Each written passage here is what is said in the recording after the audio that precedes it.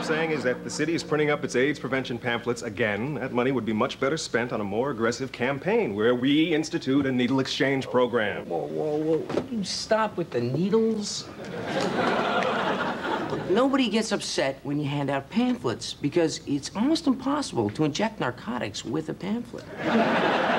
Savings to the city and hospital-related costs I, I would... can't, I can't do it, Carter. I mean, it would look like the, the mayor is condoning drug use, and we are in a war against drugs, in case you haven't noticed. Is this the same war we've been fighting the last 40 years? Yep. How we doing? Any day now.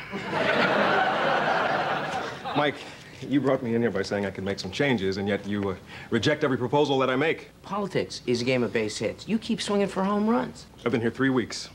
I've put my name on my desk and switched the office to decaf. That's the sum total of my accomplishments. I'm drinking decaf.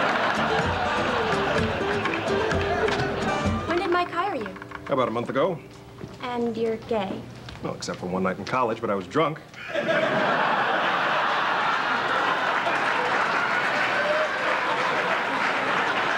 I'm not trying to pry. I was just wondering if being gay gets in the way of. What is your position here? Special assistant on minority affairs.